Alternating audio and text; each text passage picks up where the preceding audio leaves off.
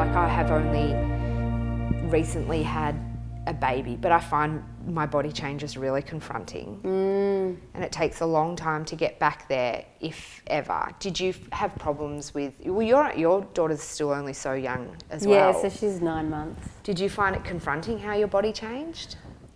Yeah, yeah. I mean, you know, I still look in the mirror and go, I don't recognise that. Yeah, body." not recognizing your own body is really confronting. Yeah.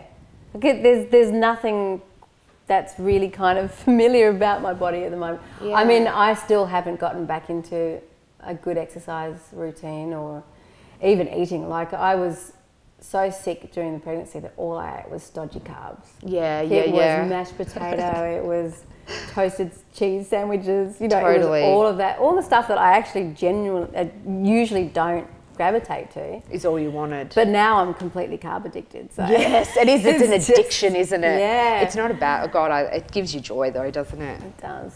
It Yeah, because I look at the, one of my boobs is seriously double the size of the other. Like, because he feeds off one side, and I look Right. and I'm like, this boob is like a D, and this one's like a B. yeah, right. It's full on. My nipples are huge. My mm-hmm. tummy's all floppy. I'm like, come on. I get that I've just had a baby, but but you still feel gross, you know? Yeah, I think too. The other aspect that I've found very difficult is you've lost all your core strength.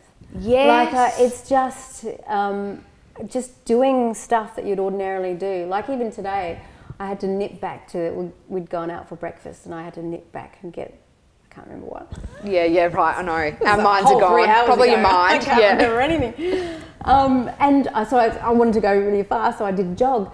I jogged for about 50 meters and was out of breath. Yeah, and, yeah, yeah. You know, my body just wasn't functioning, like it wasn't moving cleanly and Yeah. with strength. It was just, I just went, wow, I really, it's going to be a little bit of a long road back to, Totally. to feeling integrated with your body as well. You know, that core strength kind of is so important for your whole body to function Yeah, God, well. yeah. I don't know. Yeah. Did you have you found during your career being in front of camera you've ever felt pressure to look a certain way? Um, yeah, there absolutely is is that, but I very early on realised there's not much I can do about how I look. Yeah. like it just, you know, you can't rally against it.